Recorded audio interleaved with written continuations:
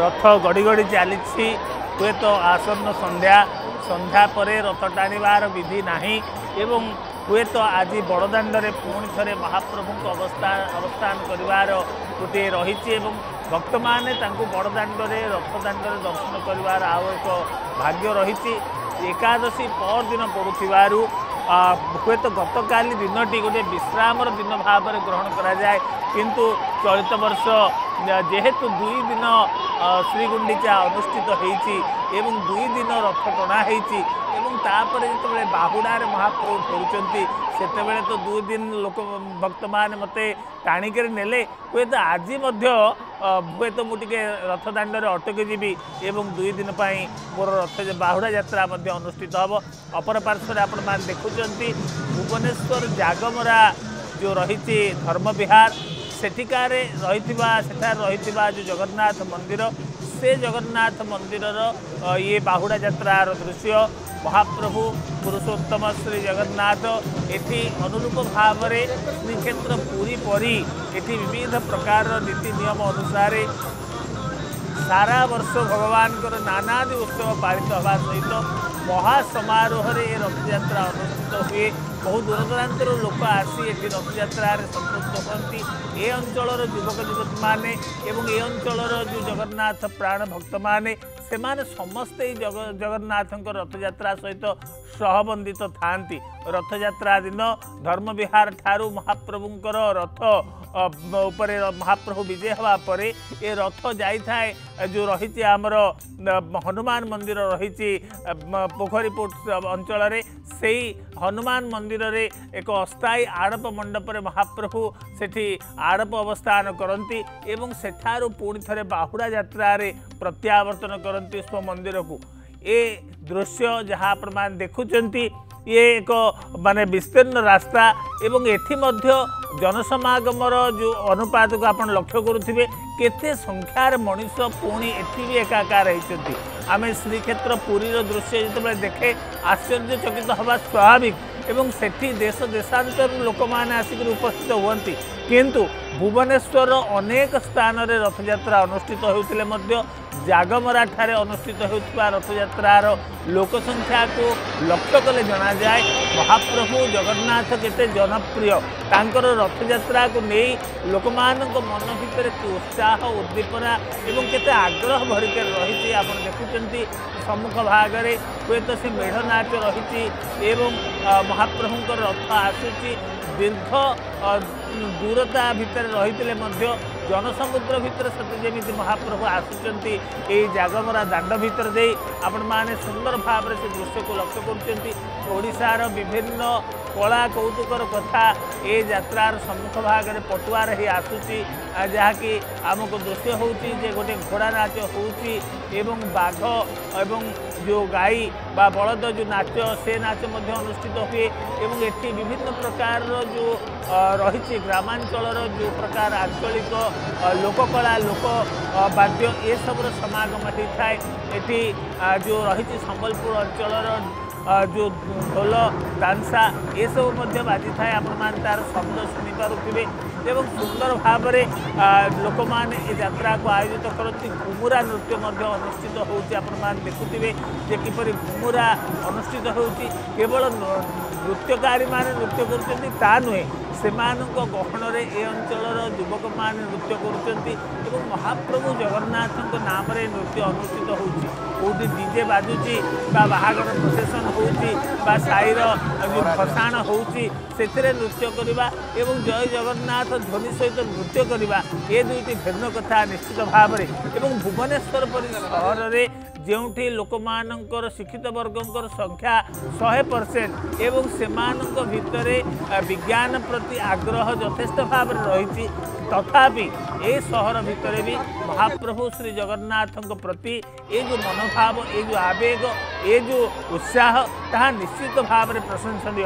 ଆପଣମାନେ ଦେଖୁଛନ୍ତି ଧୀରେ ଧୀରେ ରଥ ଆଗକୁ ଆସୁଛି ଏବଂ ଅପର ପାର୍ଶ୍ୱରେ ଆପଣ ଦେଖୁଛନ୍ତି ସିଧାସଳଖ ଭାବରେ ପୁରୀର ବଡ଼ଦାଣ୍ଡରୁ ମହାପ୍ରଭୁ ବଳଭଦ୍ରଙ୍କ ରଥ ସୁନ୍ଦର ଭାବରେ ସଂକର୍ଷଣ ଚାହିଁ ରହିଛନ୍ତି ରଥ ଦାଣ୍ଡକୁ ହୁଏତ ରଥ ମୋତେ ଲାଗୁଛି ହୁଏତ ସଠିକ୍ ସୂଚନା ଆସିନାହିଁ ପରବର୍ତ୍ତୀ ସମୟରେ ଆମେ ସେ ସୂଚନା ଦେବୁ ଆପଣମାନଙ୍କୁ କିନ୍ତୁ ବର୍ତ୍ତମାନ ଲାଗୁଛି ଏ ଯେଉଁ ଆସନ୍ନ ସନ୍ଧ୍ୟା ଏ ସନ୍ଧ୍ୟା ଆସିବା ଦୃଷ୍ଟିରୁ ରଥ ଯେଉଁଠି ଦାଣ୍ଡରେ ରହିଛି ସେଇଠି ହୁଏତ ଅଟକିଯିବ ଗଡ଼ନ ପ୍ରସ୍ତୁତ ହେବ ରାତି ସାରା ମହାପ୍ରଭୁ ସେଇଠି ରହିବେ ଏବଂ ସେଠି ଭକ୍ତମାନେ ଆଜି ସାରା ରାତି ବଡ଼ ଦାଣ୍ଡରେ ପୁଣି ଥରେ ଆଉ ଗୋଟିଏ ରାତି ଭଗବାନଙ୍କ ସହିତ କଟେଇବାର ଏକ ଅପୂର୍ବ ସୁଯୋଗ ଲାଭ କରିବେ। ଅପର ପାର୍ଶ୍ୱରେ ଆପଣ ଦେଖୁଛନ୍ତି ଜାଗମରାର ଅ, ଜ- ଜଗନ୍ନାଥ ମନ୍ଦିର ଯେଉଁ ରହିଛି ଧର୍ମବିହାର ଜଗନ୍ନାଥ ମନ୍ଦିର ଏ ଜଗନ୍ନାଥଙ୍କର ପ୍ରତିମୂର୍ତ୍ତି ଗୁଡ଼ିକ ବା ଏ ବିଗ୍ରହ ଗୁଡ଼ିକ ପୁରୀ ମନ୍ଦିର ତୁଳନାରେ ବହୁତ ଛୋଟ ଥିଲେ ମଧ୍ୟ ଭାବ ଆବେଗର କଥା ଅନୁରୂପ ଏଠି ଦୃଷ୍ଟି ଦୃଷ୍ଟିଗୋଚର ହୁଏ। ଅନେକ ଭକ୍ତ ଅଛନ୍ତି ଅନେକ ଲୋକ ଅଛନ୍ତି ଯେଉଁମାନେ ପ୍ରତିଦିନ ମହାପ୍ରଭୁଙ୍କୁ ଦର୍ଶନ କରିବା ଯାଆନ୍ତି ଏବଂ ତାଙ୍କର କାର୍ଯ୍ୟ ନିଜକୁ ନିୟୋଜିତ କରନ୍ତି ଆପଣ ଦେଖନ୍ତୁ ମୁଁ ଟିକେ ପୂର୍ବରୁ କହୁଥିଲି କେବଳ ଏଠି ଘୋଡ଼ା ନଚଉଥିବା ସେ ଛପିକି ରହିଥିବା ମଣିଷଟି ନାଚୁନାହିଁ ଏଠି ଯୁବକ ଯୁବତୀ ଏବଂ ଛୋଟ ଛୋଟ ପିଲାମାନେ ନୃତ୍ୟରତ ରହିଛନ୍ତି ଆନନ୍ଦରେ ବିଭୋର ହେଇଯାଉଛନ୍ତି ଏବଂ ମହାପ୍ରଭୁ ଜଗନ୍ନାଥଙ୍କର ନାମରେ ଏ ନୃତ୍ୟ ସେମାନେ କରୁଛନ୍ତି। ବର୍ଷା ହେଉଛି ଏବଂ ଆ, ପ୍ରବଳ ଭାବରେ ହେଉଥିଲା ବେଳେ ଏ ଯେଉଁ ନୃତ୍ୟ ଚାଲିଛି ସେ ନୃତ୍ୟକୁ ଆପଣମାନେ ଲକ୍ଷ୍ୟ କରୁଥିବେ। ଘୋଡ଼ା ଗୁଡ଼ିକ ଓଦା ହେଇଯିବେ ବୋଲି ସେଗୁଡ଼ିକୁ ଜରି ବାନ୍ଧି ଦିଆଯାଇଛି। ମେଢ଼ ନୃତ୍ୟର ମେଢ଼ ନୃତ୍ୟକୁ ମଧ୍ୟ ଜରିରେ ଘୋଡ଼େଇ ଦିଆଯାଇଛି। ବର୍ଷା ପ୍ରବଳ ହେଉଛି ଏବଂ ସେ ବର୍ଷାର ଶବ୍ଦ ମଧ୍ୟ ଆପଣମାନେ ଶୁଣୁଥିବେ। କିନ୍ତୁ ଏ ଲୋକମାନଙ୍କର ଏ ଜନସମାଗମର ଆଗ୍ରହ ଉତ୍ସାହ କମୁନାହିଁ ଗୋଟିଏ ଦିନ ଓଦା ହେବା କିନ୍ତୁ ମହାପ୍ରଭୁଙ୍କୁ ଟାଣି ଟାଣି ନେବା। ଏ ଆଗ୍ରହକୁ ସେମାନେ ପ୍ରତିହତ କରିପାରୁନାହାନ୍ତି ସେମାନେ ୟାକୁ କାବୁ କରିପାରୁନାହାନ୍ତି। ସେଇ ଆଗ୍ରହରେ ସମସ୍ତେ ମହାପ୍ରଭୁଙ୍କୁ ସେଇ ସମାନ ଆଗ୍ରହର ସହିତ ଟାଣିକି ନେଉଛନ୍ତି ଆପଣମାନେ ଦେଖୁଛନ୍ତି। ପ୍ରବଳ ବର୍ଷା।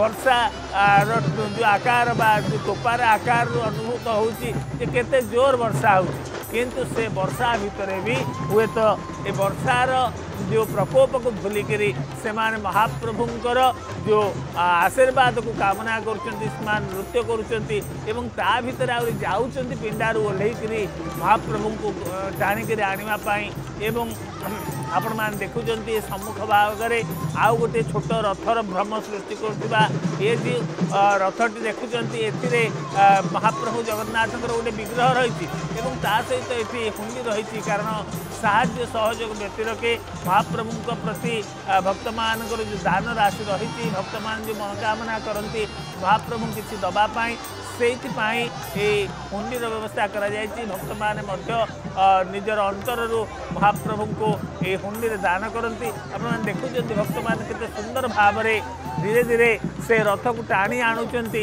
ଏବଂ ରଥ ମଝିରେ ମଝିରେ ଅଟକି ଯାଉଛି ଏବଂ ଅଟକି ଯାଉଥିବା ସମୟରେ ଭକ୍ତମାନଙ୍କର ଉତ୍ସାହ କିଛି କମ୍ ନୁହେଁ। ଯେଉଁମାନେ ପରିଚାଳନା କରୁଛନ୍ତି ଯାତ୍ରାକୁ ସେମାନେ ନିଶ୍ଚିତ ଭାବରେ ଧନ୍ୟବାଦର ପାତ୍ର।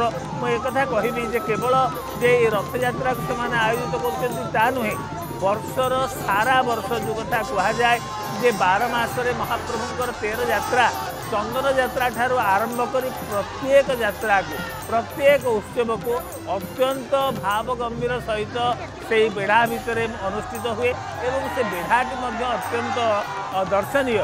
କାରଣ ସେ ବେଢ଼ା ଭିତରେ ଶ୍ରୀମନ୍ଦିରର ଅନୁରୂପ ଭିତର ବେଢ଼ାର ଅନୁରୂପ ଅନେକ ଗୁଡ଼ିଏ ମନ୍ଦିର ସେଠି ପ୍ରତିଷ୍ଠିତ ହେଇଛି।